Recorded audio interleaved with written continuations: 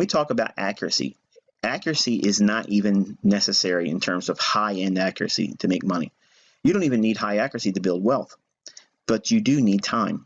Time is the missing element, and that's the secret. That's the holy grail to allow compound interest to do its magic. So